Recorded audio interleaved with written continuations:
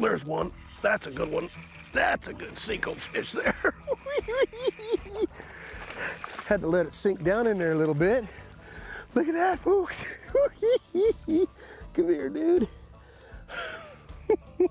Had to let it sink down in there a little bit. Beautiful Roosevelt Lake bass.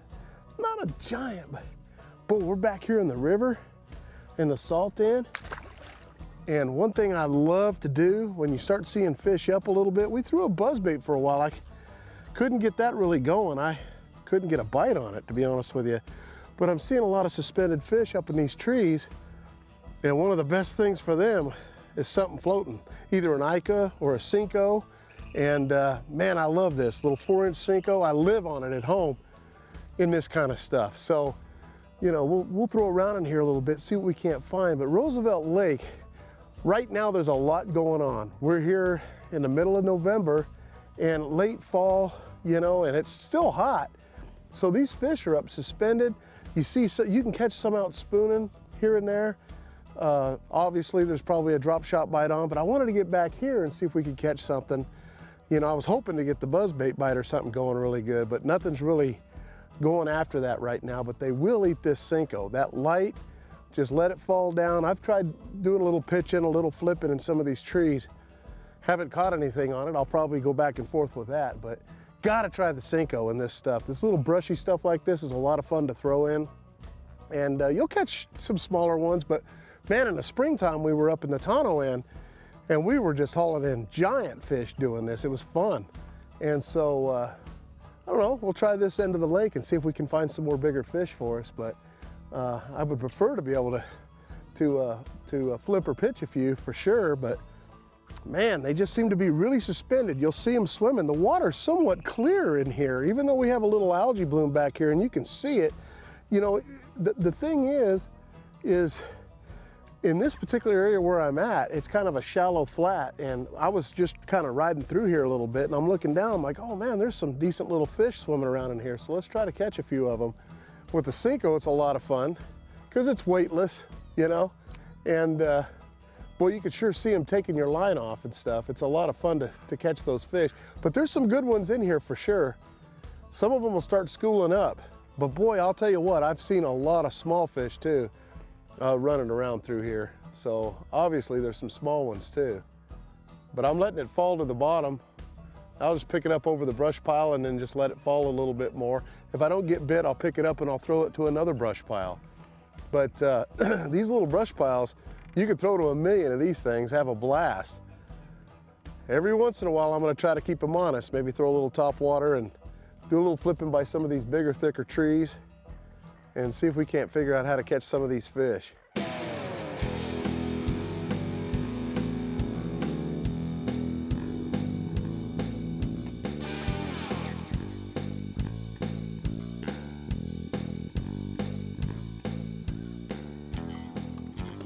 There he is.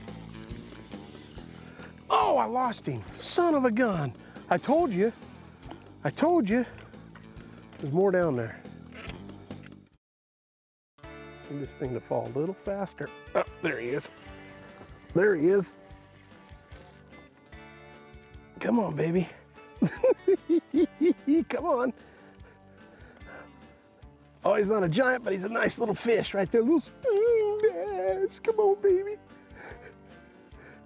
Look at that, little spoon bass. Don't you jump. Get up here. Oh yeah! Looky there, folks, little spoon bass. That's what's playing around down there. You know, every once in a while, you can find yourself in a spot where you might catch a few fish. And uh, you better have that spoon ready this time of year, let me tell you, because this is the time of year to catch these little dudes. That was in about 25 foot of water right there. And there's, you know, these bass will start schooling up this time of year, early, late in the fall like this. I was gonna say early in the fall because it feels like early in the fall, but you know, they're starting to school up a little bit. So I figured let's drop a let's drop a spoon down on them a little bit and just see what happens. I'm gonna turn around and try to hit that same little spot right there. Seems like there's just one little spot right there where it drops right off into 25 foot of water where I can seem to get them. I'm gonna pull back and see if I can do that again. There was more than one fish down there. And uh, I'll tell you what, it makes for a lot of fun. You know, we went up and tried shallow stuff, catching a lot of little fish, and I figured, you know what, let's go see if we can find some of those schooling fish, because if you can, sometimes you can look into a good solid bag. You know, they kind of hang out in age groups, it seems like, and you can really catch them and have fun. But we'll get out here and see if we can't catch a couple more before the sun goes down on us. And uh, see if I can't figure these out here a little bit. You know, one thing about this time of year is these fish, when they're schooling like this, you'll go and you'll see blank screen, blank screen, blank screen. You gotta go, you know, in and out, in and out. You can look for them, you know, search for them, but you gotta be ready to, to drop right on them when you see them for sure. Now see, we're in 18 foot of water. I'm gonna back over here, see if I can get back in that 20 foot where it dropped right off. I know that fish was around here somewhere, I saw it. But once you find the depth of water that they seem to be hanging in, you can usually find them in that same depth of water. Got that one.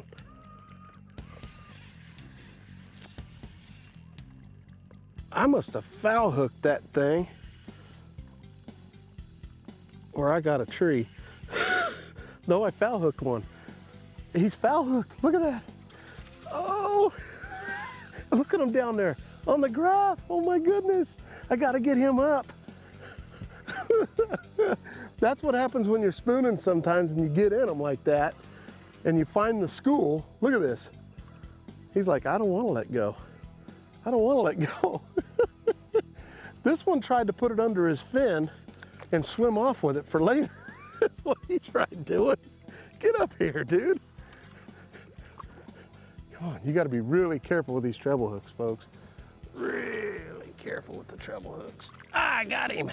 Look at that. He tried to put that under his fin and save it for later. Let's get back down there. Let's get back down there. Look, they're down there. There's some fish down there. Let's see if we can't get one to spark up again. A lot of times you fire the school up and then they settle back down there, but you gotta get down there where they're at. Man, if you get the school fired up, I'll, you can have buddies out here catching them, having a great time. There's another one. Oh, he came loose. Man, they must be thick as thieves down there. You know, that one felt foul hooked too. What, they're laying down there looking at it or what? They might be darting for it and then don't get it. Look at that, those fish down there. Come on, baby. Boy, there's a whole school of them down there. And you just put the spoon on the bottom and then hop it up. Let me try it over here, make sure I'm not all fouled up here. Sometimes your spoon, spoon will get fouled up. Let's drop it down here on this side. There's one right straight down, look, sitting right up there. There goes my spoon. There's fish following it down. Fish following it down. They must have followed it on the way up. Couple of things to think about when you're spooning that you really need to know for sure is when you let your spoon down, let it fall all the way down to the bottom, number one, okay? That's the first, most important thing you can do, okay? Once it falls to the bottom, we're using a half ounce spoon, by the way, strata spoon. Anyways, when it falls to the bottom, keep your rod tip low to the water, okay? And then pop, and then let it fall back down to the bottom pop it, let it fall back down to the bottom. If you have your rod tip up here and you try popping it up here, when you get hit, you're not gonna have any room to set the hook. So you always wanna keep your rod tip low, okay? That's important. Once it hits bottom, reel down, reel up some slack, pop it from the bottom and come up to about nine o'clock or so, you know? And you'll catch those fish, okay? The other thing to remember is, is you notice I'm using a spinning outfit for this, and one of the reasons why is because I like throwing Kastmaster spoons and swapping them out, things like that.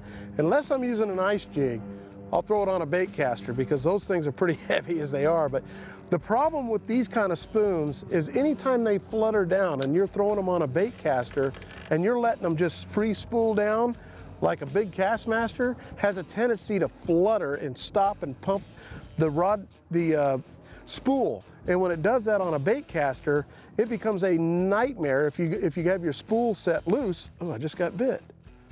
If you have your spool set loose, it becomes a nightmare because then you get some backlash. So that's one of the reasons I like the spinning outfit. The other thing is, is I'm throwing this on, uh, I'm using 20 pound braid line. Oh, there's one there. He just hit it on the way down. awesome. Oh, here he comes. Oh, he's just a little guy. Get in here. They'll eat that spoon. Come on, buddy. Now, he ate that spoon. He, he let it fall down and he actually got it pretty good. But I don't want to hurt him, so I'm going to grab my little pliers here just to get that out.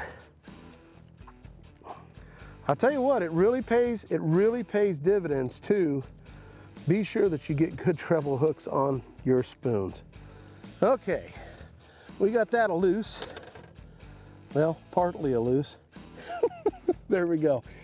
Okay, so as you can see, when you let the spoon fall and you keep your rod tip low, you got a better chance of catching those fish.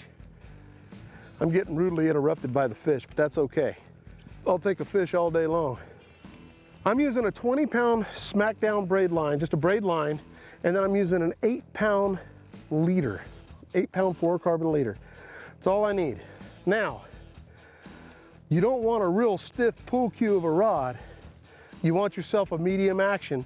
This one's a medium uh, light action actually that I like to use from Taipan for this. And the reason for that is because those little hooks, you've seen me hook a few, foul hook a few, and then they come loose.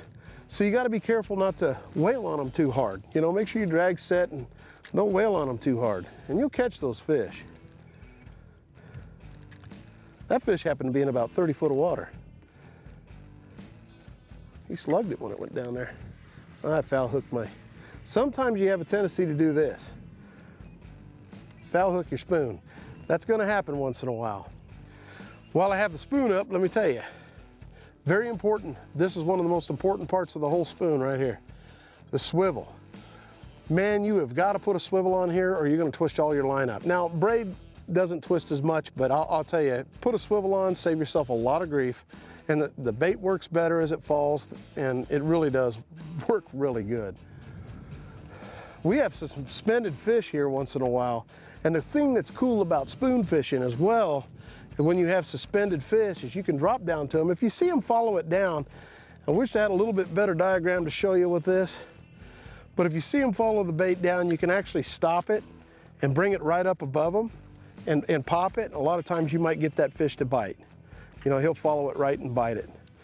The other thing that's important too is with your graph, if you can get away with it, zoom up on it. See what's down there on the bottom. Watch that spoon will go all the way down to the bottom. When you zoom up, you can see really what's going on down there on the bottom. You can see your spoon better when you're popping it. Makes a big difference. Now see, I'm coming up, there's some fish there. Look at that. See if we can get him to bite. There's a couple of them. They're right here. There's some fish right there. We're gonna get them. Oh, they come up for my spoon. So they just came up for my spoon. And I'm popping it. And I'm keeping them right there. Look at those. Look at the flurry of fish right there. I'm gonna let it fall all the way down. there was a flurry of fish there and I didn't get one of them.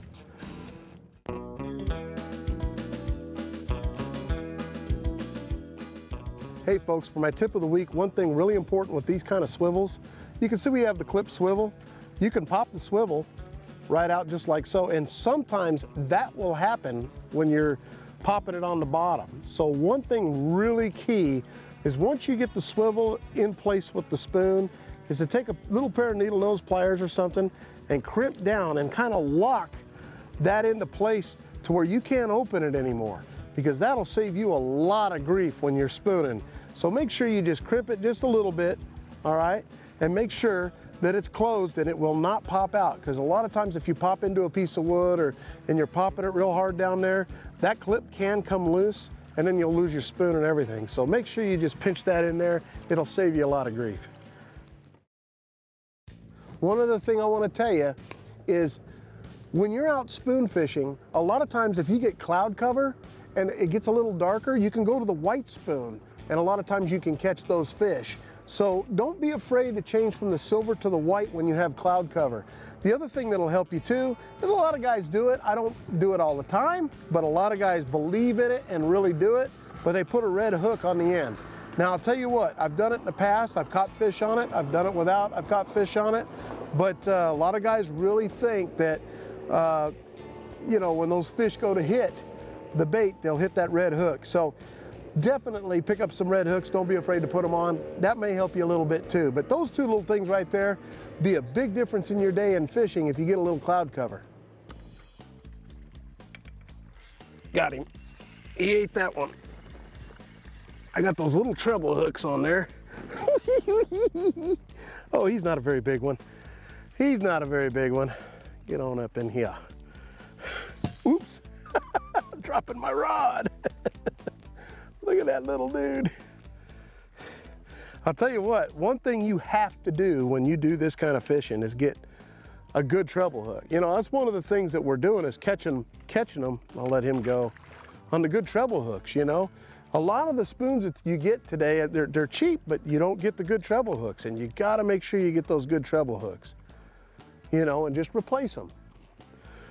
Get those owner treble hooks, those, you know, I mean, it's very important to be sure that you get sharp treble hooks. Because, I mean, you saw that we foul hooked a few anyway, and that's what'll happen a lot of times when you're down there popping your bait off the bottom. They go down there and look at it, and then, and then they, uh, they don't hit it, but they're down there looking at it. Then when you pop the bait up, you get them. And then sometimes they just react to it really quick. It's a great reaction strike when they get it. There's nothing like the fall. Watching that spoon fall on your graph and then just watching it fall. I'm gonna zoom up where I can see the bottom a little better. If you find the right fish, you'll find them. You'll if you find the right spot, drop down there and catch them.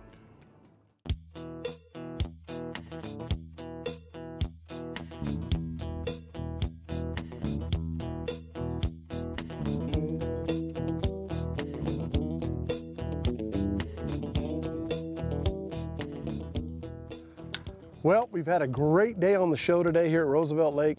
Had fun time spooning. You catch some big fish spooning. If you find the right schools, I promise you, you'll have some fun with this. And what's really cool about spooning is you can have three people in the boat, and if you've come over the right bunch of fish, everybody's catching fish at the same time. I highly recommend that everybody drop down at the same time and catch those fish, because what happens is when one gets fired up, it seems like the whole school down there gets fired up, and everybody's catching fish, having a great time. Thanks for joining us on the show. We'll see you next week. I'm Johnny Johnson. now, see, that's what I'm talking about, folks.